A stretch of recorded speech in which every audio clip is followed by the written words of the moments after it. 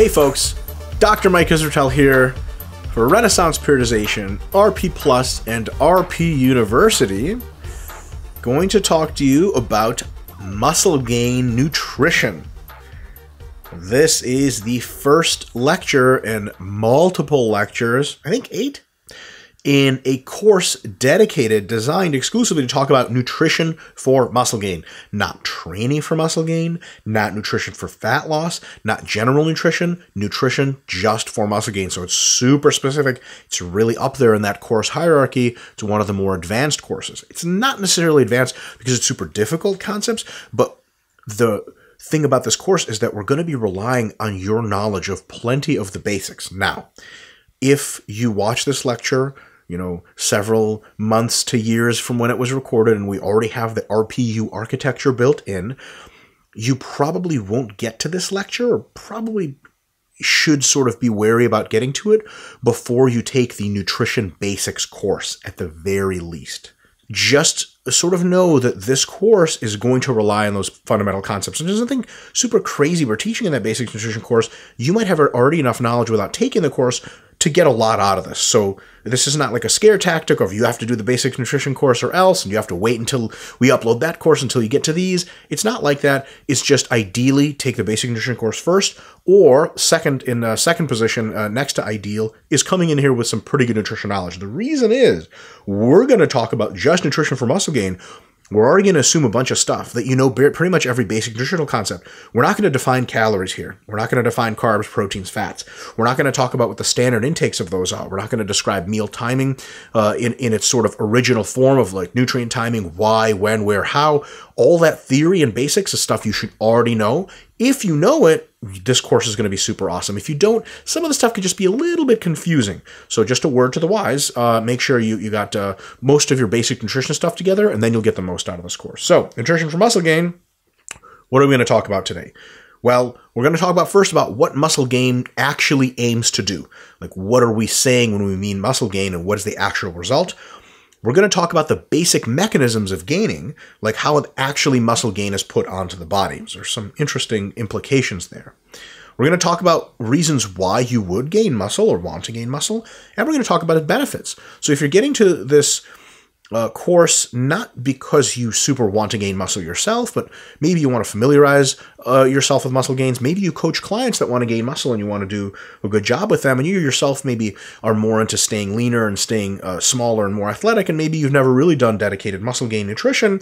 This could teach you some of the reasons and benefits that maybe you could say, oh, gee, my, my other clients could really benefit from this, and maybe I could even benefit from, from some muscle gain myself. On the other side, the next point we're going to talk about is trade offs and downsides of muscle gain. Because muscle gain is a good thing, but there's no such thing as an infinitely good thing. All good things eventually become neutral things, and uh, all neutral things eventually, if you get more of that good thing, become bad things. So there's a way to get uh, muscle gain that uh, has some costs and downsides to it. We're going to talk about the general nutritional approaches that we'll see unfolding in uh, the next multiple lectures, kind of paint a very broad uh, brush around, okay, what is muscle gain nutrition really? So, kind of what we're expecting in the future for these um, sorts of interventions. And then we're going to talk about something really important and this again goes back to communicating things with your clients and with yourself on expectations. The typical time courses of muscle gain and uh, how long you have to apply these nutritional strategies for. We're, we're going to talk about how muscle gain, it doesn't take a day, it doesn't take a week, it doesn't even take a month, it takes longer. So we'll, we'll definitely have a lot to say there. Very, very important because, like, you know, you could have all the things you're doing properly in muscle gain, not do them long enough, and it just won't be very productive for you. And then we're going to talk about, lastly, what's ahead, what kind of stuff we can look for in the uh, upcoming lectures on this topic. All right, so without further ado, next slide up is what muscle gain aims to do. Well, pretty simple. We're aiming to add the amount of skeletal muscle tissue you have. Now, interestingly enough, you have two other kinds of muscle tissue cardiac muscle, which is your heart. You don't necessarily want to make that bigger. And smooth muscle, which uh, lines all of your organs and your blood vessels and stuff like that. Uh, very different kind of muscle. Skeletal muscle tissue is what we're looking at. And you clearly, unless you want to look like me and have weird jaw things going on, uh, you probably want to add skeletal muscle you know, uh, below your face, right? And there's various other skeletal muscles. You know, you don't necessarily want like hypertrophied hands or something like that, or really big tibialis anteriors. So a lot of times it's skeletal muscles that are involved in either physique or in moving sort of really big weights, really big joints around, right?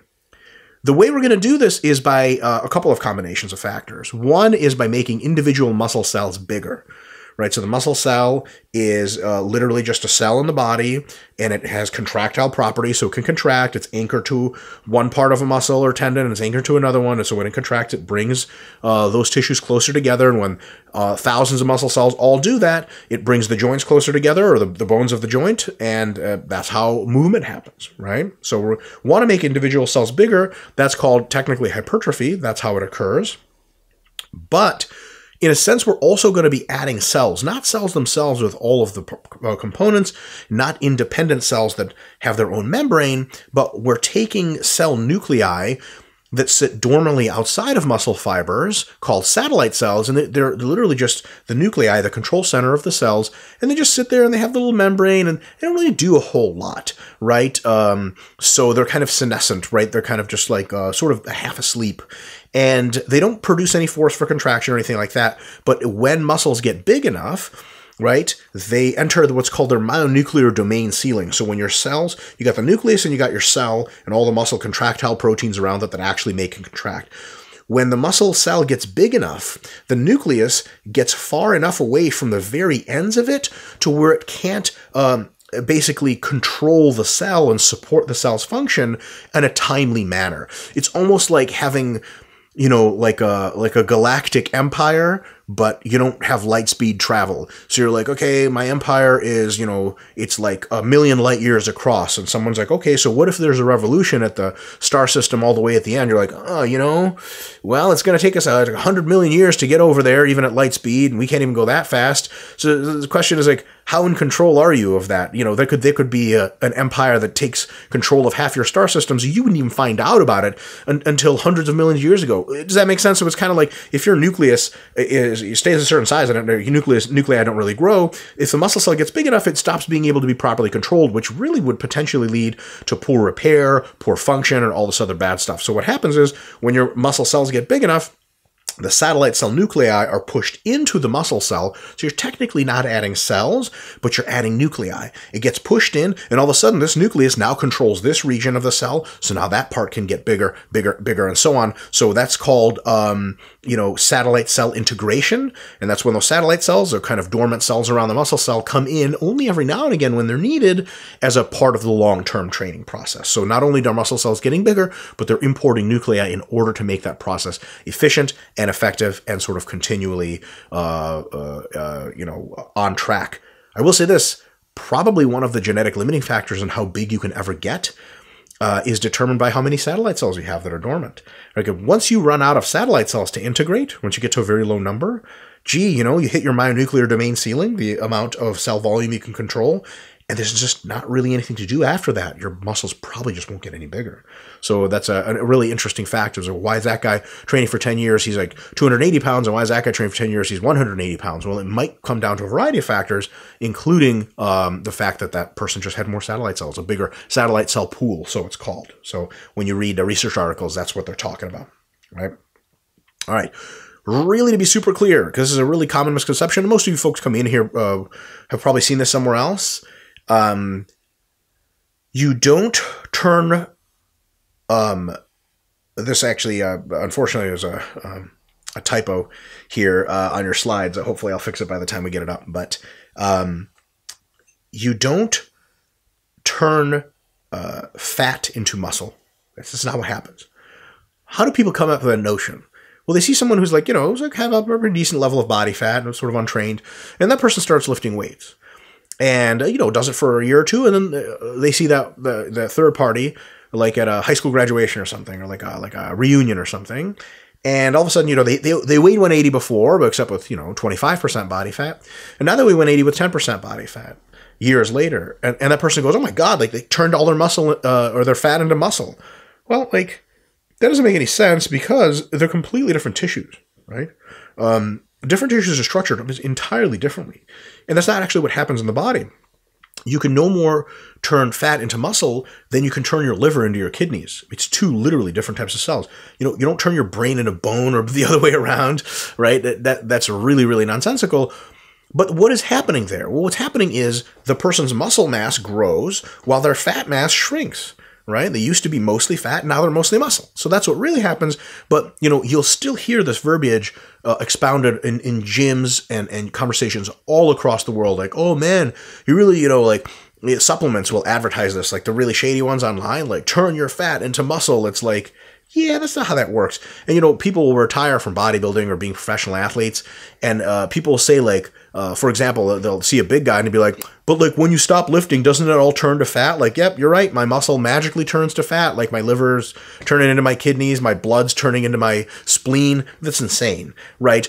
So why do people when they quit bodybuilding sometimes get fat? Well, because they still eat like they're bodybuilders or that same level of calories, but they no longer train with weights. They grow fat, shrink muscle, and that's the result. So very, very clear to make sure to, to get that.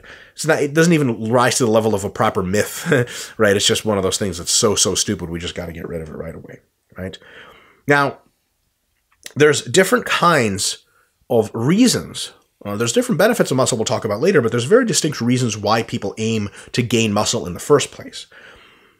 One of the sort of more classic ones is to try to increase performance, right?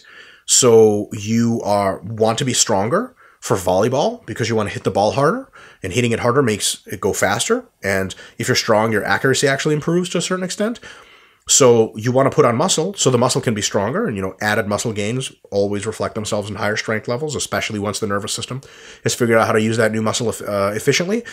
And so a lot of times people are focusing on putting on muscle in order to actually improve in sport. This happens in CrossFit, this happens in weightlifting, powerlifting, wrestling, every sport you can think of. There's a time and a place to put on muscle to get better for the sport. Super, super obvious, right? The next one, which a lot of people uh, use as their reason, is to gain muscle uh, because they're focused on physique right? They're just looking for a certain look. Now, there's different kinds of physique pursuit. You could look like a professional bodybuilder who's just jacked and has got muscles coming out of their eyes. You could look like a physique model where it's, you know, sort of more tasteful muscle in various areas. Uh, or you can, you know, uh, look for a variety of things, especially maybe get super lean, but you don't want to look skinny, so you want to have some muscle, so on and so forth. So it's totally fine to train for physique. And a lot of people, probably most of the people in the modern world that try to put on muscle is almost exclusively physique uh, based and, and not really performance based based. Now, uh, in physique and performance, we can actually focus our muscle gains to particular body parts, right? So, uh, you know, if you're a thrower, a shot putter, and your upper body's really weak and kind of small, but your legs are super strong, when you gain muscle, you don't have to gain it everywhere, right? Because at some point, your upper body's just really limiting you. What you can do is by training the upper body more, and maybe training the legs a little less, you can gain more upper body mass, more mass in the triceps and the shoulder, so on and so forth, versus mass in the quads. So it can be body part specific. So so people don't have to say to you, "Hey, I want to get bigger." Period. Like say, I want bigger arms, I want bigger chest, I want bigger back. Uh, or they say, "I look, I want much bigger legs, but I don't want a big upper body," and that's totally fine. Now, interestingly enough, um, that is all training based and is zero nutrition based. So nutrition, all it does is it sort of primes the pump for muscle growth and it supplies the raw materials. Where you choose to put those raw materials, that's up to you. So if we're like building a skyscraper and we want to build, you know, uh, work on like one side to make it taller or another side to make it taller, put a spire on top, you know, they still bring the same building materials more or less to the site right? It's not like you can ask the truck driver that brings the bricks or you know the metal or the steel and be like, "Hey, is this you know, what's this for? Like, is this for the, the spire or is this for the base? And he's going to be like, I don't, I don't know. I just like, they just pay me to bring the stuff, right? That's how nutrition is. It brings the calories, the protein, carbs, fats, so on and so forth, supplies it. And then what you train really determines what you build. So I've actually received questions like this, like, you know, is there any kind of nutritional tips for like putting muscle on my legs, but not on my upper body? That's like, uh, impossible. There's, there's no way that can happen with human physiology because primary reason as soon as your intestines uh, have digested various materials and release them in the bloodstream, that bloodstream goes to systemic, right? It's systemic circulation, so it goes everywhere, right? So if you apply, uh, supply a high level of protein and carbohydrate to your body from your diet, it really just goes to all the muscles. Now, the muscles that are more sensitive for it are the ones you've trained. So if you're not training your upper body at all, like it's going to see the carbs and protein and be like, ah, all right, so you can just take some, leave some. But if your legs are super well trained and super hungry for that stuff, they're going to use it more for muscle growth. So it's almost entirely training on that. And technically speaking, you can focus on regions of muscle that you want to grow. So it's a more limited scope. We're not really sure how much regional hypertrophy is possible. For example, can you focus to make like to get your peak of your biceps bigger versus like, you know, elongating the muscle all across its length and making it bigger like that. Maybe, maybe, but we definitely know some muscles distinctly have parts to them. The upper pecs, for example, you can do various incline movements and upper, uh, uh, other upper chest movements that grow your upper pecs a bunch, but maybe your lower pecs not so much, right? So there's definitely uh, regional differences. They're still trying to figure out the quads, right, with how you grow regional differences. A lot of debate about that's not really certain. But, you know, the triceps, uh, for example, have very distinct heads. You know, if you train overhead a lot, the long head gets stimulated more because it's stretch under tension. And if you bring your triceps down closer to your body, you do presses this way or push downs that way, the other heads of the triceps seem to receive more work and probably grow more. So it's definitely a regional thing. It's just, um, I wouldn't put too much stock in that because it's probably not a huge difference. Um, and, uh, you know, more particularly, let's put this out there right now. This is a little more training related, but I think it bears repeating. You know, if you have really small arms and you're trying to focus on regional differences, like I just want a bicep peak, like you don't really have a bicep to talk about, right? So the basic approach is to getting much bigger muscles first, right? All around. And then maybe you can sort of whittle away at trying to shape the thing right? It's kind of like building something from clay. You make a big slab first, and then you start whittling away at it. You don't like whittle away and add slabs and whittle away. That doesn't make much sense. All right. So those are our goals potentially, and you may fall into any number of them, different goals at different times. What are the basic mechanisms by which this happens? Real basic stuff. Right, this is not a course on mechanisms of muscle gain. It's nutrition for muscle gain. So we just have to get familiar enough with the mechanisms to basically find an alignment where we can say, okay, this is the basics of how muscle grows, thus nutrition should probably look like this. Versus if this is the basics of how muscle grows, nutrition I, might not look like this. Uh, here's a real stupid analogy I just made up. If, we know that we're launching a rocket into or taking a let's say a, like a new shuttle type of system, like a high altitude shuttle. We're going into 100,000 feet above the air, and we're going to go to Hong Kong like that from Los Angeles.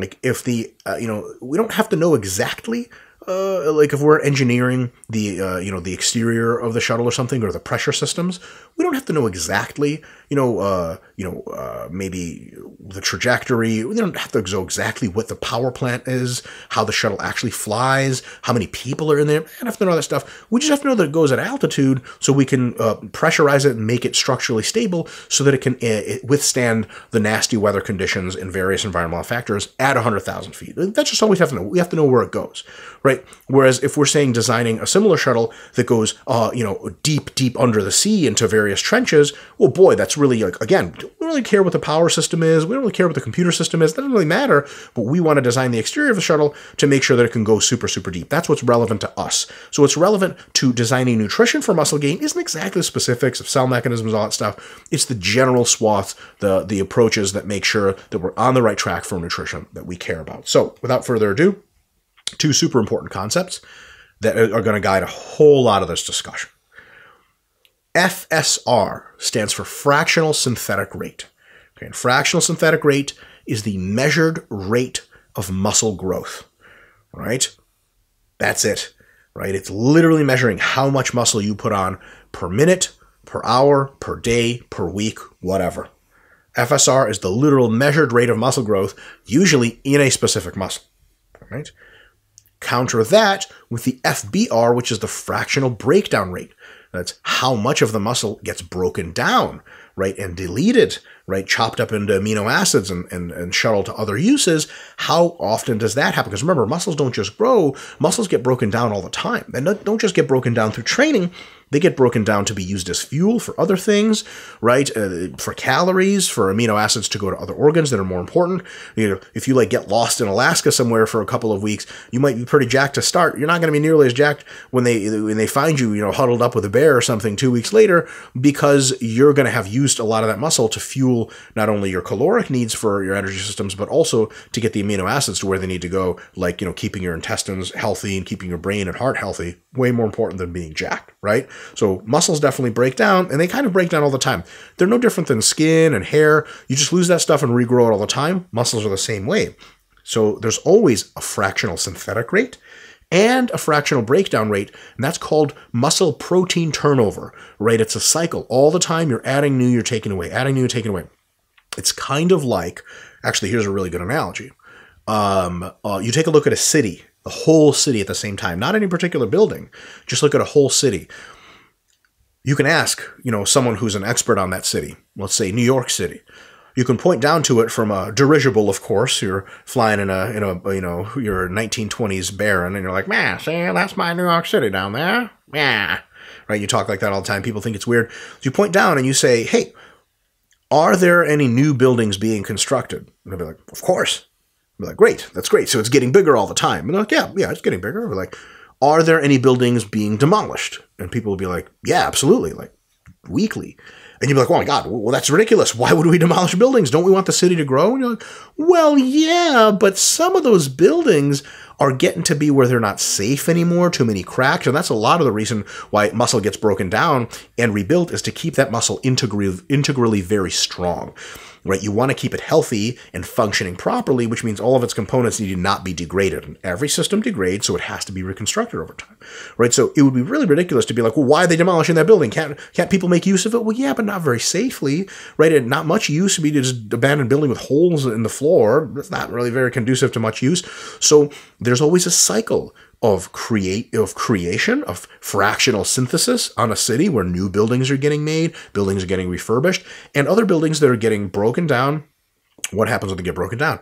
Well, you take all the bricks and stuff like that, you send it to various recycling centers or smelting centers, you get whatever you can out of it, and then you potentially use at least some of that to build new buildings. But you can't do all of that. It's not a perfect system. So the city needs to import raw building materials all the time to actually get net growth, right? And how does a city get net growth? Its building construction has to outpace its building demolition. In just the same way, when your fractional synthetic rate of muscle tissue is higher on average than your fractional breakdown rate over days, or days, weeks, and months, that is how you make muscle gains. Am I going to say it's that simple? It's not. It's a little bit more complicated than that, but at minimum, this has to happen. I'll put it to you this way. If we say a bunch of other complicated stuff is happening and fractional synthetic rate is greater than fractional breakdown rate, we're good to go. We're building muscle, potentially. But if all this complex, weird muscle growth stuff is happening, we'll talk about a little bit of what that means, but fractional synthetic rate is not exceeding fractional breakdown rate, you get no muscle growth whatsoever. It's physically impossible by definition. So, number one concern for growing muscle is that the fractional synthetic rate is greater than the fractional breakdown rate. Another way to put that is, right, mind blowing implication, nutritionally and through training and otherwise, we're going to have to do things that boost the fractional synthetic rate, the construction of muscle, and things that maybe mitigate at least needless fractional breakdown. Right? For example, if you have no laws about property destruction in a city, people will just go break stuff because it's not illegal. Like it's fun. Let's just demolish that building. Like because cops are looking at you and they're like, "Yeah, it's totally cool," right? If we have that law in effect, or rather no law, we're going to see a lot of breakdown in cities that just like doesn't make any sense, right? Those are fine buildings. So we're going to want to reduce the sort of needless fractional breakdown. Now, of course, we can't prevent muscle turnover, but if we boost our fractional synthetic rate high enough and get rid of enough needless fractional breakdown, then we can have a net positive and a pro- called a positive protein balance, and then we're actually getting muscle growth. So really, really good stuff. So higher, high, high uh, fractional synthetic rate is the goal, lower fractional breakdown rate. What are some contributors to a high fractional synthetic rate? Well, there's a couple. Number one, a prerequisite in most cases, if you want to get real big, is resistance training. Now, look, your RP Plus, your RP University folks, I have to tell you, you have to lift weights to gain muscle. If I do, we're in real, we're in real deep shit, right? You got to go back and rewatch some lectures. So gaining uh, muscle is sort of predicated on supplying the mechanical stimulus for muscle gain, and that means resistance training. But a very specific kind of resistance training is best. That's resistance training above minimum effective volume. You have to have enough volume, right? Enough sets and reps to actually trigger hypertrophy. Now, of course, that means that you can't train super light either because, you know, running distance is a ton of volume, but it's not heavy enough. So it's got to be like a challenging 1 to 30 reps per set. So you can gain some muscle if you just do singles. It's true, like at 95% one rep. You can. It's not very efficient, but you can do it.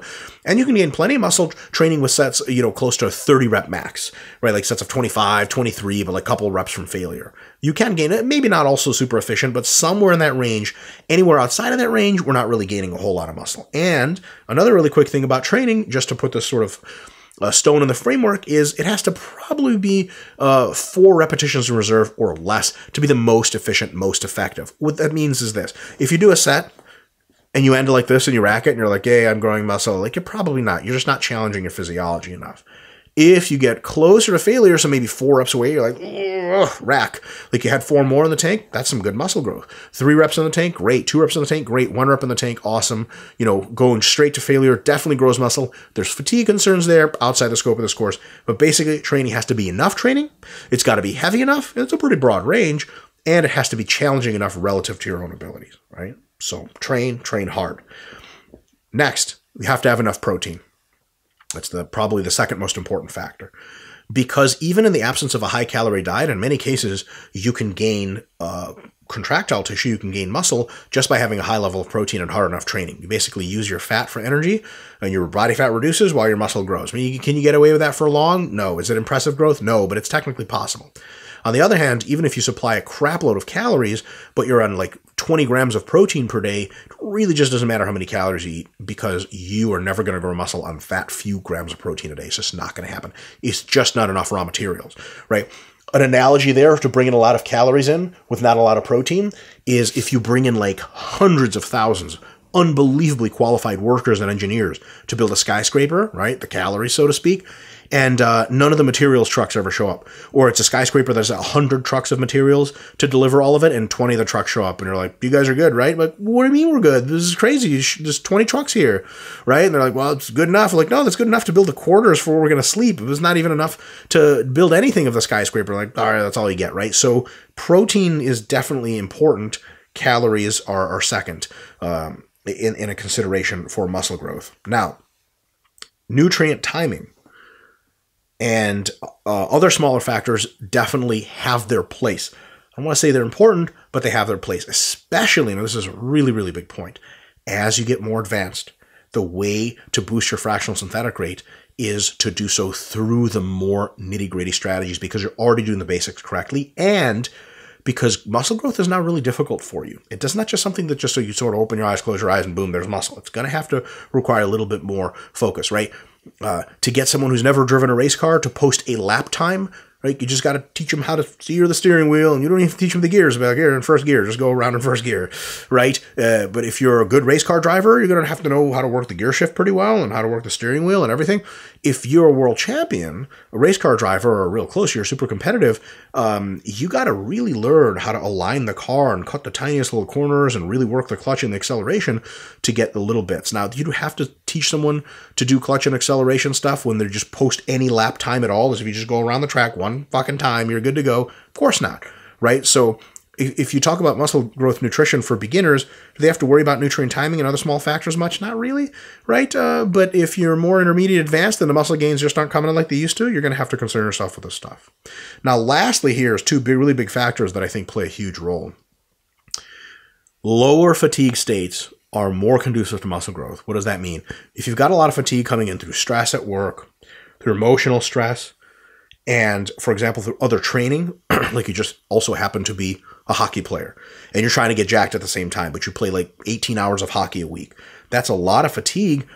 Fatigue at the very chemical level, a biochemical level, through a variety of mechanisms, including AMP kinase, for example, literally turns down muscle growth like like a like a knob switch.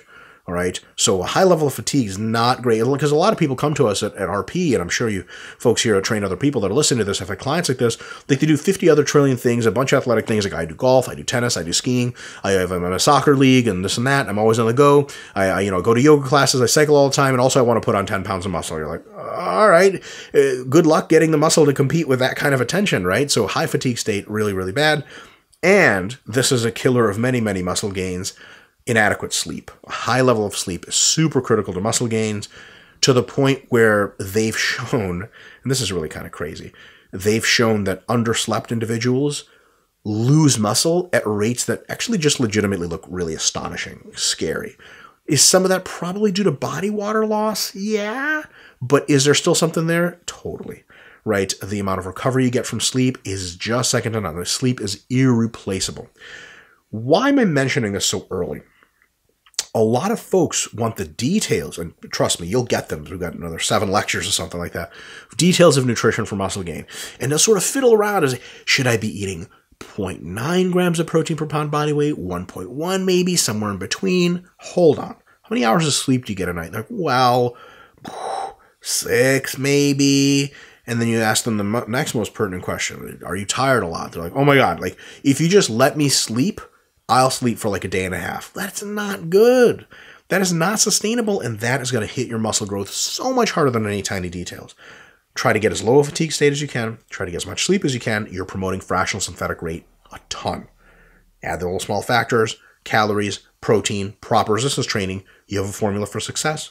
Next up is how do we make sure the fractional breakdown rate is the lowest it can be? Well, all the same above things, lower fractional breakdown rate. Training enough enough protein, enough calories, nutrient timing and smaller factors, like what kind of food you're eating, low fatigue and high sleep, lower fractional breakdown rate, like crazy. So it's really same side uh, or different side of the same coin. One factor that potentiates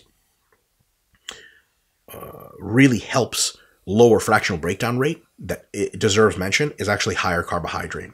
Carbohydrate um, after you get in enough protein, has a very special anti-catabolic uh, activity uh, or effect on muscle tissue. So in other words, carbs have been described as protein sparing. So if you have a higher carb diet and you're eating plenty of protein, your body's hungry. It's going to go, uh, uh, should I eat my muscle? Should I eat the protein that I ate? Oh, wait, there's carbs coming in. It just eats the carbs preferentially. It doesn't touch your muscle protein and it doesn't touch the protein that you ate. That protein goes much more to uh, where it needs to be, like growing muscle. So another real powerful tool there is higher carbohydrate diet, which is almost a universal in muscle gain protocols, right? Um, I know there's like a channel on YouTube where the guys it's called Keto Gains or something. I don't know. Uh, you can try to gain muscle on a low carb diet. It's really really tough for a variety of reasons. One of those is the higher carbs are so anti-catabolic. All right. So to put, so sum this up, basic mechanism gaining, we can make a real quick summary. TLDR, you basically fuel up for training by eating properly. You train hard. You eat, eat, eat, eat, eat, eat. Rest, sleep, repeat, grow muscle. Right? That's how it works. So, what are some of the reasons, potentially, and especially the benefits you could get from gaining muscle? Well, there's quite a few. One, incontrovertibly, more muscle makes you stronger, right? When we increase the cross-sectional area, like if you slice a bicep like, like that, you examine how big the area is, right? It's just a measurement of muscle size. Cross-sectional area has a really, really tight relationship to force production in every way we measure it. In real life humans, in animals, in the laboratory, even one muscle fiber, one cell at a time. They take a muscle cell, they put it on one little pin, one end, they put the other end on one little pin, and they put an electrode here, and they make it contract and the bigger the muscle cell they get, the more force it produces. I mean, it's not rocket science, right? Because the stuff in the muscle cell is the literal machinery for force production. And that's how you should look at muscle as machinery for force production. So you see a, someone that's really jacked and you're like, oh, I wonder if they're strong. Well, how much machinery for force production do they have? Well, looks like a shitload. Looks like they're probably going to be really strong. So definitely strength enhancement is a really good benefit of muscle gain. Because strength is enhanced and power is basically an expression of strength at high velocities – right? How fast are you at expressing your strength? then as long as you don't get slower, and we'll talk about later in downsides, uh, and most muscle gains don't make you slower, especially if you train properly, then just getting stronger actually makes you more powerful. It means that with gains in muscle, to a point, you can jump higher, run faster, hit harder, throw harder, so on and so forth. Real good stuff, right? Because power, or the ability to contract a muscle very quickly, produces speed, getting stronger to a point, getting bigger to a point, makes you faster. Now, there says to a point. Um, what's that point? Well, power to weight ratios are a thing, right? For example, if you're a high level sprinter and you're maybe 5'10, 5'11, sort of average sprinter height, if you're like 140 pounds, you don't have enough muscle to move all of your bones and, and other structures enough. So you're not going to be as fast as you could be as you gain muscle to 150 pounds, 160 pounds, your power goes up more than your body weight does in a relationship scale. So your power multiplies by more than a factor of one, but your weight goes up by a factor of one. So your power to weight ratio improves. Now, uh, if you gain, you know, 170, 180, 190, 200, 210, you're now gaining so much muscle that your power to weight ratio, your weight's starting to really be a burden. Your power to weight ratio starts to sort of flatline and then fall off again, and then you can no longer be faster, right? Which is why in the National Football League, for example, you see folks weighing, you know, 180 pounds, 190 pounds, 200 pounds. They're the fastest people on the team. Folks that are, you know, 210, 220, 230, they can be really, really super fast, especially if short distances.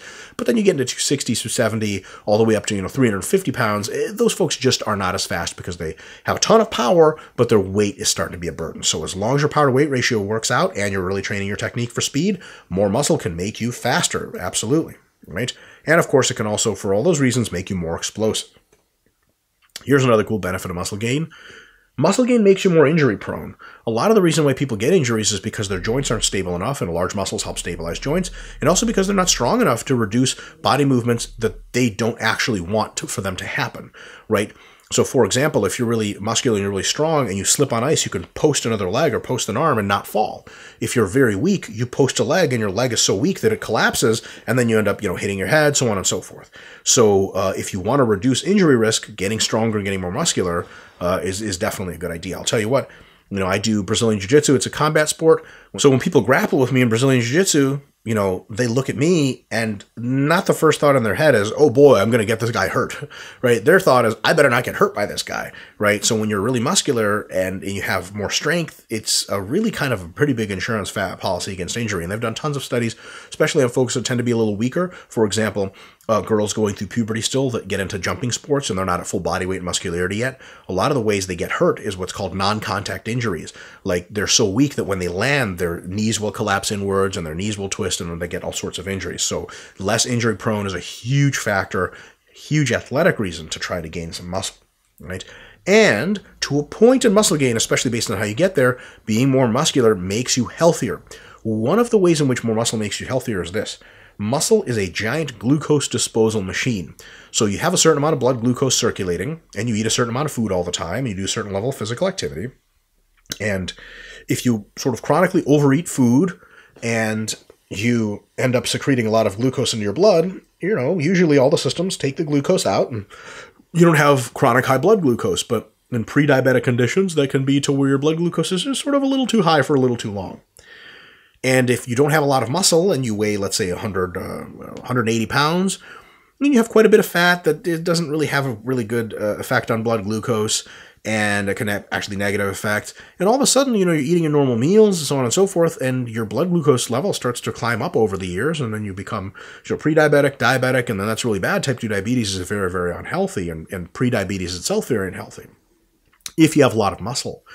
Every time you feed it, the muscle just gobbles up a bunch of food. It's just super hungry, and it's usually super sensitive to insulin, much more than fat uh, is, uh, you know, in, in many cases. And what it does is, you know, it eats up a ton of food, and it just makes you sort of chronically lower in blood sugar as you get blood sugar, and especially if you're active with that muscle mass.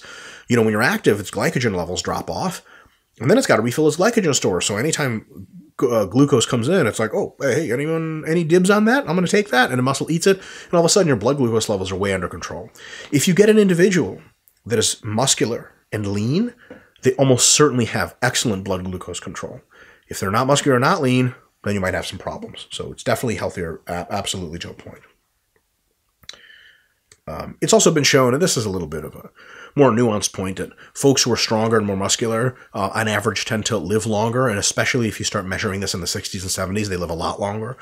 So you get someone who in their 60s and 70s has a pr- pretty decent level of muscle and strength. Uh, their predicted lifespan for the next 20 years, or like predicted chance of death in the next 20 years, is way lower than someone who's who's already quite frail and so on and so forth, and, and supports independent living and all that other really really good stuff. And of course, duh, uh, muscle enhances aesthetics right? When people look good, even in clothes, a lot of times it's because of a higher level of muscularity. So, for example, you have someone that looks good in a suit. What does make someone uh, what what other than really good suit tailoring? What makes someone look good in a suit? Well, they have broad shoulders and a narrow waist, and they oh, just look real dapper, right? And you know, look good in a dress. How does that work? Well, you're really sort of narrow waist and broader shoulders and and, and wider hips, and well, how's that work? Well, you got muscle where you want it, and sort of not a lot of fat, so it really enhances aesthetics. Whatever aesthetics you're going for, muscle because we can sort of address muscle in various areas, you can have the aesthetics you want. You know, I think I'm plenty aesthetic. I'm not sure if anyone agrees with that, unfortunately. So I cry a lot when I'm at home. All right. Now, we're going to be completely honest here, right? This is RP, this is high level thought, this is talk about trade offs and consequences and downsides. There are some downsides of muscle gain, especially if you gain a lot of it. Not pointing fingers at myself, but I literally just pointed a finger at myself. So, clearly, I'm an example. Number one, you can become less flexible. Now, here's the thing it takes a lot of muscle to become less flexible. But if you guys saw me earlier awkwardly trying to itch the back of my head, it's really difficult for me because the old bicep here to even reach the back of my neck a lot of times. Like I have trouble shaving because I have to do this and it's difficult to get under this area. It's really a trip, right? How jacked do you have to be? Well, I have like roughly 20 inch uh, arms when I'm pumped and I'm like five, six, but it's like kind of a nonsensical version of a human body. But, you know, if you rely on a sport in which really extreme flexibility is required, a lot of muscle isn't a good thing. Here's a really good example. If you're an Olympic weightlifter, the rack position in the clean, which I'm horribly illustrating because I'm nowhere close to doing it, is dependent upon your bicep just not being that big. And if you have a really big bicep, it screws up a rack position and really can really, can really put you off. So if you're an Olympic weightlifter and you like doing a lot of bicep curls, you got to be careful with that, especially if you start getting over 80, 90, 100 kilos in body weight. At some point, you're going to have arms that are too big to be optimal for that. More muscle can make you slower, especially if you do a couple of things. You put on a ton of muscle and you no longer train speed qualities. So if you train like a bodybuilder all the time, train for reps, train for reps, train for reps, you get really big, but you never work on the speed qualities and the athleticism, uh, speed qualities of the muscle locally or the athleticism of your body generally, and then you absolutely will get slower, and then that's not going to be a really, really good thing. So for athletes, if you're looking for muscle hypertrophy to boost you in athletic ability, um, it absolutely can do that. Just make sure you're not getting so big that it doesn't make sense for your sport anymore. Like, you know, if you're a soccer player and you weigh 210 pounds, it doesn't make any sense. And also uh, make sure that you're still training your sport qualities, explosiveness, so on and so forth in a periodized manner. To that end, enough muscle can make you less explosive. This one's a little harder to pull off, but especially dynamic explosiveness and rebounding off of stuff. If you're heavy enough, it just don't you just don't rebound the same like you used to. Definitely, you get muscular enough, you can be too big at your best health. Really tough to do without taking anabolic drugs and all this other stuff, which have independent effects on your health. But I'll put it to you this way if you reach 250 pounds body weight, fairly lean, a lot of muscle, man, you know, unless you're really, really, really tall, weighing 250 is just a burden on you one way or the other. Now, if it's more more fat than muscle, that's definitely worse. But just having a lot of, of, of organ on you, of muscle, it requires more, uh, you know, uh, slightly higher blood pressure to get all the blood around. Your heart has to work harder. Your kidneys have to work a little bit harder, so on and so forth. It's not for the best. Your joints can suffer because you're walking around heavy all the time. So uh, a lot more muscle can, can do some damage in that respect, right? And of course, a lot more muscle can uh, detract from the aesthetics that you might want. You might not, not want to look super duper jacked. You might not want to have traps that go through the, you know, all the way up to your ear, so on and so forth. I mean, this is kind of like, um, pretty edge case here because you got to really work, sort of go out of your way a lot to work hard at getting to be more muscular. And it, would be strange if you went out of your way and got super jacked, and then all of a sudden you were like, oh shit, I hate this. You know, you probably would have catch, caught it along the way. But some athletes you know, there's female throwers and stuff that maybe don't want to be super huge. They want to be really good at throwing. So they got super jacked to be good at throwing, but as soon as they're done throwing, they kind of give it all up and, and go and do, uh, you know, other pursuits and still train with weights, uh, maybe, but it's not as much. And they get to a lower level of muscularity that, that they like better. Not my cup of tea, but absolutely to each their own. And um, here's the thing in the short term, especially for non beginners, you're going to be expecting some fat gain with muscle gain. This is a huge point that we will belabor much more later on. But just to throw this out there in the beginning, uh, almost one of the number one deterrents for people who would benefit a lot from muscle mass gains, who wouldn't pay any of these costs listed until this one. Almost the number one deterrent for those folks is they know slash have heard slash are under the understanding of, and this is correct, that if you're not a beginner, you at least in the short term, months, have to get a little bit fatter to gain muscle. Now we're not there's no we're not trying to get fatter, but the hypercaloric diet, the excess calories that make us the most muscular, also have the side effect of making us a little bit fatter in the short term. Now, are we talking 20% fatter? No way. We're talking about 3 5% more fat than we're normally carrying, at, and that's really at the extremes. Is that a thing? Yeah, it's a thing right? So if you want to stay 10%, or if you're female and you want to stay 16% all the time and have abs and everything, and you don't want to make the trade off of temporarily looking just a little bit fluffier, but that's the pathway to huge lean muscle gains after, you know, yeah, it's going to be a struggle for you. But if you sort of swallow that pill and know that it's not all the time to look super lean, you're going to do super well with it. And we'll talk about that in our myths and fads, but it's definitely a downside. So, you know, uh, why are we saying this downside? Well, here's the deal you can't tell your clients, for example, let's say you coach clients. There's a lot of folks watching this are going to be personal trainers, uh, nutrition and diet coaches, and uh, you know weight training coaches. And you can't tell your client, hey, listen, but you know, go back a slide and be like, here's all these benefits of muscle gain, and they're like, oh, what, what about the downsides? Right? Yeah, there are no downsides, right? If none of it, they never become less flexible, slower, blah blah blah, all this health stuff, because most regular people, but you'd have to gain just you know like 50 pounds of muscle for any of this to be relevant. Uh, even for them, unless they're just rank beginners, gaining muscle is going to come in the first couple of months with some fat gain until you deal with it later. And of course you can deal with it later. And of course you can lose all the fat. And of course it doesn't affect you long term. And of course you're going to be lean and jacked at the end of the process. But that that's a hell of a buy-in, right? That's like telling someone that college is a place where you get educated. And, and, and, and you tell them nothing else. And they're like, well, does it take a long time? And you're like, ah, no. You just, you're, so boom, you get an education. And they're like, okay. So where, where do I sign up? And they're like, well, here's the sign up sheet and here's how you pick your classes. And they're like, wait, I have to be here for four years? And like, well, yeah. like, well, I don't, I haven't have a job. I have like a family. I can't go to school for four years. Like, oh, I guess I should have told you that. That's, that's one of the, you know, the trade-offs is you got to sort of delay your income for a while until you get educated, right? Same thing, right? People a lot of times want to put on muscle because they want to look better. But the path to looking better is temporarily looking not as good, maybe, right? Uh, and for some people, they don't give a shit. Like some people are like fatter and more muscular, like pff, they don't care. It's all it's all gravy, right? Uh, depending on what community you're in, so on and so forth. You could just be just want to be big, and that's great. But I mean, a lot of people don't want that. A lot of people want the leanness and the muscularity, uh, and they don't ever want any of the transitional states of higher body fat. If you're going to be coaching non-beginners, you have to let them know about this uh, trade off, and you have to familiarize the extent of the trade off, how to mitigate the trade off. Because if you gain a little slower, if you don't just stuff your face, you get less fat gains. It's definitely a good thing. Um, and uh, let them sort of come to their own conclusion with your guidance, of course, uh, as to okay, all right, I think I'm good to gain like 10 pounds of body weight, and if like three or four of that is fat, up front, I'm okay with that. If they're okay, great. They're still going to require you reminding them that they say okay. You know, six weeks in, they're going to like sort of their abs are going to be a little blurry. They're like, oh my god, oh my god, oh my god, I can't see my abs, I can't see my abs red alert, right? And then you're going to have to be like, hey, remember, we signed up for this. We know it's at the end. At the end is crispy abs with five more pounds of muscle, but we got to go through the, so the dark forest at first, uh, the dark forest of body fat. sounds kind of disgusting when you think about it. It's like fat globs on the trees, right? So you, you just have to know what you're getting yourself into. And folks you're helping, they have to know what they're getting into. All right.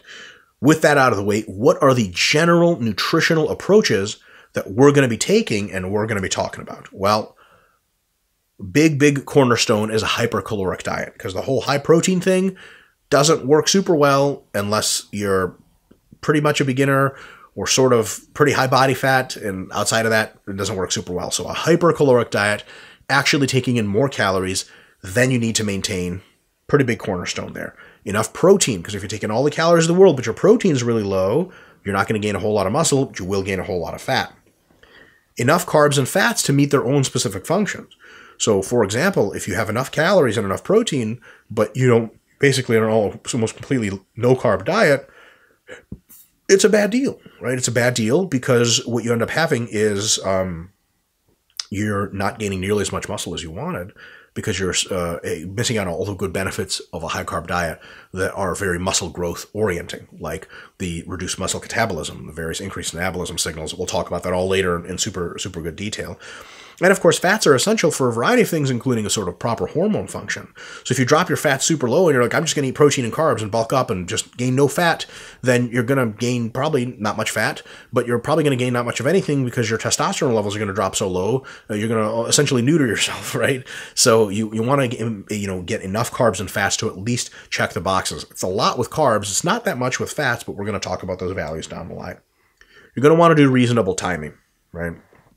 If you eat all of your food in one meal, some of it will go to muscle, and some of it will go to fat uh, to prevention of muscle loss. But a lot of it will go to fat gain because there's only so much muscle you can grow, like sort of per hour. And if you eat all of your food in one meal, you're you're going to fill up that muscle growth per hour quota, and all the rest of the protein, carbs, fats is going to go straight to fat stores. Later on, you know, does some of the fat store buildup you made earlier in the day, does it come out and supply energy reserves? Yes. But does it supply muscle growth? No. Right? There's actually no way to store protein in your body. It's either integrated into tissue like muscle, or it's just catabolized for energy right there on the spot. You can store carbs through glycogen. Yes. Can you store uh, fats through fat cells? Absolutely. Uh, but can you store protein? Not really. So the whole eat like a snake to get huge thing doesn't really work. Nutrient timing has to be reasonable, which we're going to see later is, you know, uh, hopefully at least four meals a day. And after four, it gets a little quirky as to whether or not any more helps. But definitely anything shy of four meals a day is like uh, you're kind of not giving yourself a good run at the money, right? And food composition considerations are up next, right? These are all smaller details now. Like exactly what are you eating for your proteins? Exactly what you're eating for your car. A really good example is it's been shown that um, high quality complete proteins, particularly those in animal products, tend to build muscle a little better than the other kinds of proteins, particularly like, you know, plant proteins that are incomplete so food composition, what you're actually eating matters. Are there ways to adjust that? Uh, maybe eating more protein if the protein sources aren't as uh, high quality? Yeah, absolutely. And they come with their own trade-offs. Uh, but it's definitely something we should be paying attention to, at least to some extent, right? And of course, supplements and proper hydration. Proper hydration is essential uh, to life. Um, we'll, we'll talk about what that means uh, later down the line. And of course, there are some supplements that can help you gain weight uh, and, and, gain muscle. they're not like super powerful. It's a very, very small fraction of the total effect. But there's one muscle gain supplement in particular that can come in real handy if you really struggle with weight gain. And we'll talk about that one down the line, right? Now, here's a huge factor, huge factor consistency. Okay. If we take a week of your muscle gain diet, and on three days of that week, you're getting a hypercaloric diet, you're nailing your protein, you got enough carbs and fats, your timing's great, food composition supplements, boom, boom, boom, you're a machine. Sweet. But if the four other days of the week, or even two other days of the week, you were just failing miserably, I mean, like under eating like crazy, let's say one meal a day of like 750 calories or 1,000 calories, and you were just super busy with work or with partying or whatever. And the other days, three days of the week, you're eating 3,500 calories like you're supposed to, blah, blah, blah, everything's tight man, you know, you're building decent muscle, or sort of, we'll get to this in a bit. You're supplying the stimulus for good muscle growth for three days, but for four days, you're supplying the stimulus for really good muscle breakdown and really poor muscle growth. The net balance could be that you lose muscle. And so why did you even bother with those other three days? You could have lost plenty of muscle just fine without ever, you know, wasting three days uh, of your week of trying to live like a machine that gains muscle. So the consistency thing, and you can look at consistency as kind of on the measure of weeks, right? Per week, right? So, for example, as coaches and, and uh, we help other people, when we try to figure out consistency, we're really trying to ask, like, okay, your typical week, what percent of the days slash meals are you getting correct? Right? If it's like 90%, you're doing real well for yourself if it's like 60%, gee, you know, you could probably get a lot more muscle gain if you tried well. If it's like less than 50%, it's just not really clear you're getting any muscle gains at all, especially if you're not a ranked beginner. If you're not a beginner, man, if you're an intermediate and you've already kind of not struggled to put on muscle, it's a little bit of a challenge. If you're not on the money like most of the time, you just won't gain muscle. Your body needs a real clear message to do anything really good, uh, unless it's, uh, you know, uh, uh just, just going to stay the same, right? So, Consistency. Is it good to have a hypercaloric diet? Yes, but only for consistent with it. Is it good to eat enough protein? Yes, but only for consistent with it. It doesn't mean all the time, it means most of the time. 90% is a real good place to go. So, for example, if you're an intermediate and you have six days of great eating and one day of okay eating, you're going to gain a lot of muscle. You have six days of eating and one day of terrible eating, one, one day of terrible eating, you're going to gain plenty of muscle, but you could have gained noticeably more, right? If you have, you know, four days of good eating and three days of awful eating, gee, you know, we really can't help you in that regard. So consistency is real big. It's a real big thing because a lot of people will say, you know, you'll have clients potentially and other folks come to you and say, hey, look, I want to gain muscle. I think I'm doing everything right. I don't know what I'm doing wrong because I'm not gaining a whole lot of muscle. And you know, maybe they just hit their genetic ceiling or something. You sort of get some input from them. They're like, you know, they've only been training weights for three or four years. They weigh 150 pounds, they're reasonably athletic in their youth. And you're like, well, seems like you should be gaining muscle like at least pretty measurably during this time of your life. So you start going through the checklist. You're, are you eating a hypercaloric diet? Are you getting enough protein, carbs, fats, reasonable timing, blah, blah, blah. You go to the checklist say yes, yes, yes, yes, yes. And you're like straight up, you feel like, you know, Albert Einstein towards the end of his career, like you know, struggling with a theory of everything. You're like, what the hell's going on? Shit just doesn't add up. You know, they're doing, I mean, you know, it's one of those things where you're looking for a client to just give you that one thing to be like, well, I haven't considered how much protein to eat. You're like, boom, got him, dead to rights. Like you up their protein and they just go a ton of muscle and you're like, coach, you're the best. But you can't get them on anything. You're like, gee, like, they're doing a good job of the stuff. Some of the stuff they, they're doing better than I am, right? What the hell am I doing about it? Here's what you're missing potentially. You say, nah, okay, that's great. Your diet sounds great. You got to cut them some slack there, right? Arguing to convince. It's another series we have here. Um, you know, about how many days of the week on average do you think you're really on the money with a diet? And they'll be like, well, and that's all you need to know right there with that answer, right? Because they're going to be like, ah, you know, four days a week, I'm definitely good. And you're like, okay. And one of the other three days. And they're like, one of those like if it's a weekday, it's okay. Right, to get caught up in meetings. I don't eat enough. Don't eat enough. Hypercaloric diet. We're not getting much muscle anymore. And they're like weekends are real bad. You know, because I see my kids and family more. We sort of get some food. I'm not training. I'm definitely not you know eating enough it's kind of like pretty stressful sometimes going to, you know, dropping them off at soccer games, blah, blah, blah. And you're just, at this point, you don't even need to hear what they're saying anymore. You're like, got it. So you're not actually having a good diet consistently, right? It's not what matters. Not what matters. Uh, a good diet consistently is 50 times better than a great diet inconsistently. That's how much we value consistency. Now, if we expand consistency to a larger concept, we're actually starting to talk about duration. So remember, consistency is within the week. That's how we're going to define it. Proper duration of gain is another general nutritional approach that's really important, right? Proper duration means you're giving enough time to grow actual muscle. How much muscle do you put on during a week? Well, that's actually a very difficult question to answer. You could say through fractional synthetic rate and fractional breakdown rate curves, you can actually just do the math and be like, well, it's like, you know, uh, 500 grams of muscle that you put on per week. But hold on a second it turns out, and there's some good research to support this, that um, your FSR being greater than the FBR is important, but muscle growth is probably a lot more like building the another floor on a skyscraper than it is just adding sand to a sand pile. Because people start to look at this FSR, FBR stuff and they start to oversimplify things and say, look, as long as you're you know, uh, fractional synthetic rate is higher than fractional breakdown rate, you're gaining muscle. Well, maybe. Right? But we don't build skyscrapers by putting sand on a building and being like, that's it. That's two floors higher than it used to be. And it's like, no, there's a giant sand pile there. I want actual floors that work. I want, uh, you know, windows. I want tiling. I want roofs. I want, you know, plumbing, all that stuff. Well, how long does that stuff take to build? Well, it's not an overnight job. There's multiple systems that have to be installed even in building design, there's what is going to be called, we're going to introduce the concept later, called preparatory hypertrophy. If you look at a new building that's being built, um, in a lot of places they use uh, sort of, uh, especially if it's a let's uh, get away, well, let's skyscraper, we stay, uh, stay with that.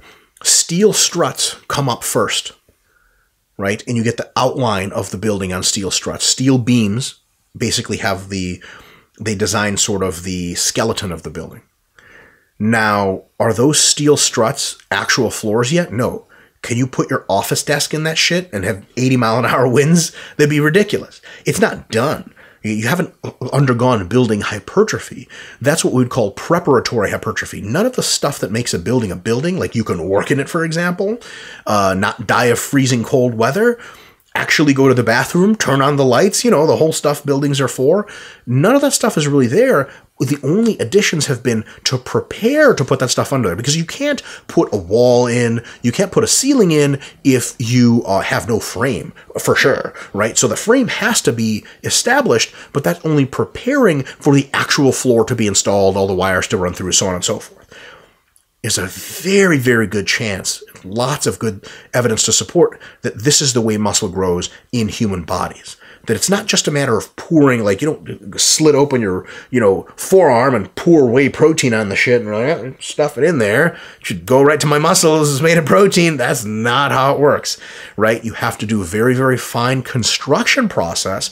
So for weeks of muscle growth, and we see this directly in the lab, you train, train, train, you eat, eat, eat, and it doesn't show hypertrophy quite in the same way yet eventually muscle growth starts to be noticeable on a grander scale. So we have to think that we have to have a proper duration to allow this process to actually occur. That's point number one. So these processes take way longer than we think they do. Their time course is longer. Point number two is look, if you are saying to a client, hey, let's put on some muscle, and they're like, great, let's do it for two weeks. How much muscle can you possibly put on in two weeks? Let's say you have this just great training, uh, this most sensitive person to training ever. Let's say they put on two pounds of muscle in two weeks, which would be unbelievable. You know, let's say they do that. Um, you know, what does two pounds of muscle look like on a on a human uh, on a human body? you like if you're like a really good eye for stuff, you'll be able to tell, but nobody else will. It's barely anything. So a lot of people will say, "Hey, listen, I'm doing all the stuff right, and I'm consistent. Every week, I'm putting it in." You say, "Well, how long are your muscle gain phases? How long at a time are you trying to gain muscle and eating hypercalorically?" And they say, "We're like two or three weeks at a time, and then I start to feel a little fluffier, and I do a cutting phase." Wrong, wrong, wrong. Real bad idea. It's just not going to accrue a lot of muscle over time for at least those two reasons. Okay. So those that's too short. So what are the typical time courses? Right? And it seems that growing muscle is more complex, right, than it originally might look like. So it's more like adding a skyscraper floor than adding sand to a sand pile. It's, it's a little bit of an endeavor that takes some time, right?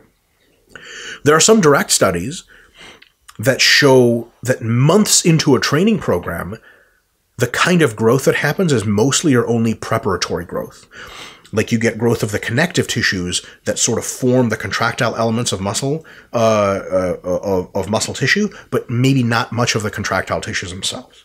Right? That's kind of strange. Well, it's a big part of the process that it takes a real long time. You have to sort of build the architecture, build a skeleton of the skyscraper, and then fill it in with floors. Same idea seems to apply with muscle growth, right?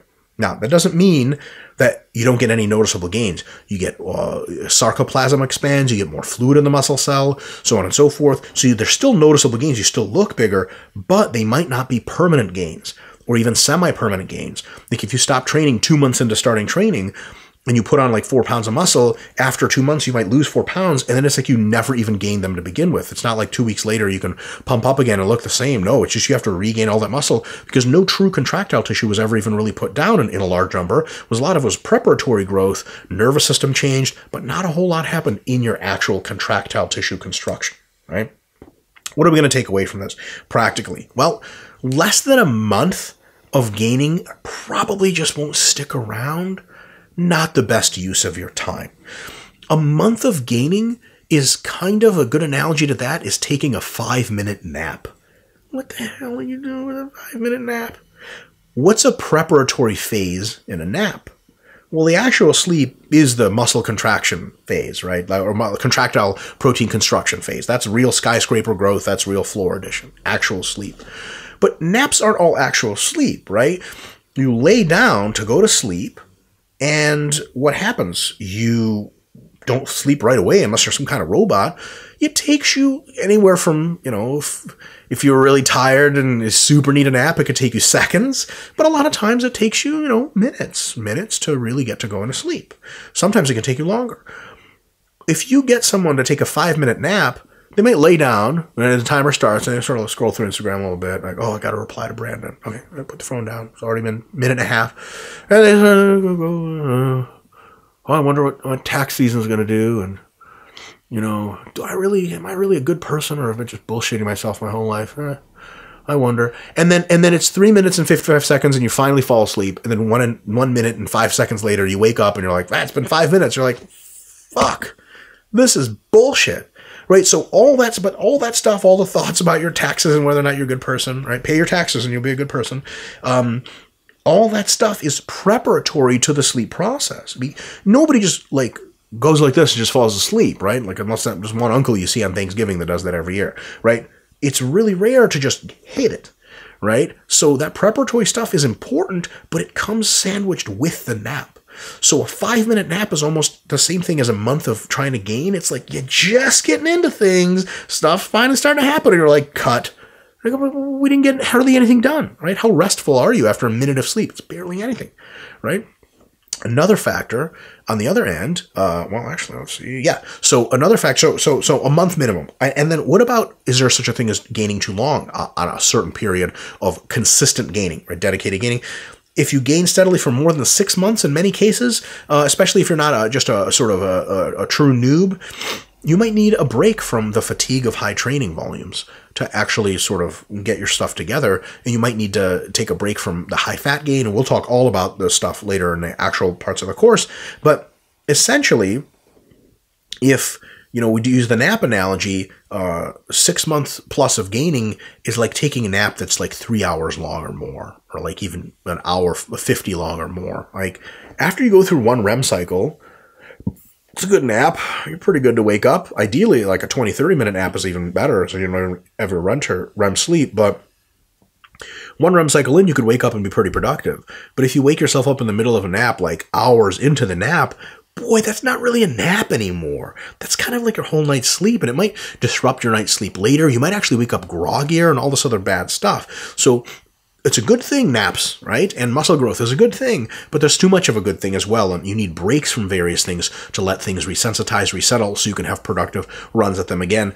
So one month or less of gaining, probably not the best idea. Six months of steady gaining or more, probably not the best idea. Why are we discussing this so early? I mean, we're going to have a whole lecture in, in part dedicated to uh, the exactitudes of, of why and how these time courses are are extant. Why are we talking about it now? Here's why. Because you folks are getting introduced to this course, we want to know what you're getting yourself into right? If you're embarking on muscle growth, if you've got clients embarking on muscle growth, they say, okay, I want to put on muscle. One month, six months. You got to communicate to them, like, look, you're signing up for a commitment. It could be three or four months of dedicated hypercaloric eating and high volume training. You don't stop earlier and you don't go for longer. It's a big switch. So you know these time courses so that you can plan better, kind of know what you're getting yourself into. Final slide. What's ahead? What are we going to talk about in the various concepts, various lectures of this course? Well, we're going to talk about getting into the in, into the in the weeds. The first uh, section after this, the next lecture, is going to be calories and macros for muscle gain. Okay, we want to gain muscle. How many calories should we eat? How many macros should we eat? Uh, proteins, carbs, fats. Then we're going to have another lecture about timing, food composition, and supplements for muscle gain. Very important stuff. Then we're going to have a, uh, a, lecture about the ranges and duration for weight gain. We say keep saying weight gain, muscle gain, weight gain, muscle gain. How much weight are we talking about? Are we talking about five pounds a week? We talk about 0.1 pounds a week. And how long are we gaining? You know, we said it's between a month and six months, but that's a hell of a window. Maybe we can get a more precise figure and talk about why and how that would change based on certain conditions, right? Measuring progress. When we talk about muscle gain, talk about strength gain, how do we know if we're doing a good job? You know, um, in real life, you apply all of these strategies you're going to learn here, and then question mark, question mark, question mark, you gain muscle. Well, those question marks are the progress that you're actually measuring because you apply them and then you see if it's working. We'll teach you how to see if it's working, and if it's not, and potentially if it's not working super well, maybe you can change something in your game. And if it's working well, don't touch a thing, right? Or, or don't touch anything major. After that, we're going to talk about muscle gain periodization, right? Because there's a grander scope of muscle gain. We've alluded to it already a little bit, like you can't gain muscle forever, your body needs a break. We're going to see how that opens up into a very predictable, periodized structure for phases of muscle gain, maybe some fat loss, maybe some maintenance. We'll talk about all that. After that, we're going to talk about, we're going to do a lecture of adjusting calories and macros when gains are not coming. So when your gains are coming good and you're doing sweet, you just keep doing what you're doing, right? But what if you're not gaining fast enough? What if you're gaining too fast and getting super fat? How do you adjust your calories? How do you adjust your macros to get you back into that sort of fine band of really good gains? Really important question. After that, we're talking about adjusting timing, food composition, and supplements when the gain's not coming, because we can tweak those other factors to make our gains better, make them faster, make them slower and less fat prone, so on and so forth. Lastly, our last lecture, myths, myth conception, myth, myth conception, myth conceptions. It's really tough to say. Myths, misconceptions, and special circumstances in muscle gain. What if I'm playing another sport? How does muscle gain work? Is there a right time or is there a wrong time? And then we're going to talk about uh, various misconceptions that folks have, lean gains myth, all that stuff we're going to cover. So one, two, three, four, five, six, seven, eight. Holy crap! That's like eight slide, eight eight courses we got, eight lectures or something. That's pretty crazy. Good stuff, folks. That's all I have for you today. We'll see you next time calories and macros for muscle gain. See you then.